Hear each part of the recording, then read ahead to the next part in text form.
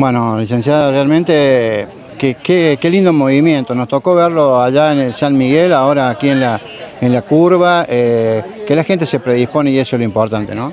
Sí, la verdad que estoy emocionada porque nunca pensé que iba a venir tanta cantidad de gente. Realmente es muy lindo. Y la que vendrá, porque esto, eh, esto mueve a, a los demás vecinos para, para que se sumen.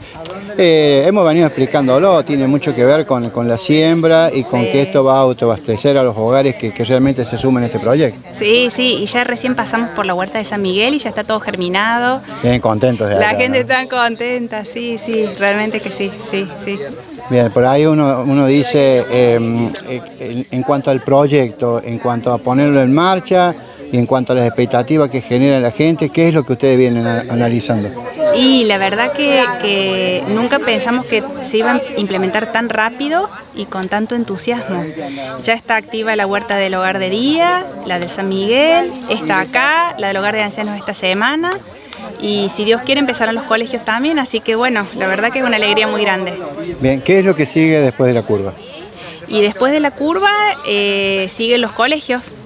seguramente que haremos una prueba piloto en el Claudio César Juárez y nos toca también acercar, que ya nos han pedido que, vayamos allá y bueno, lo más probable es que se haga una huerta y quizás otro cultivo de plantas, estamos viendo con ellos.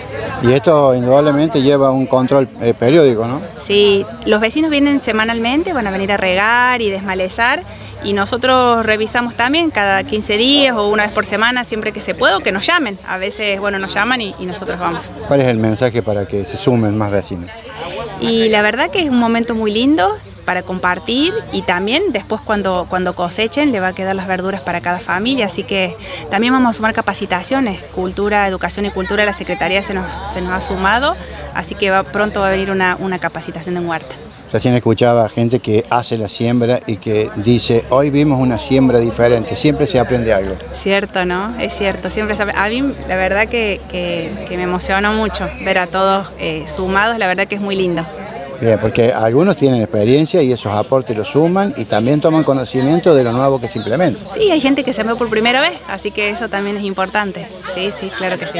Bueno, como siempre, el agradecimiento a nuestro medio. Usted sabe que estamos a entera disposición para lo que necesite. De mi parte también, muchas gracias. Gracias.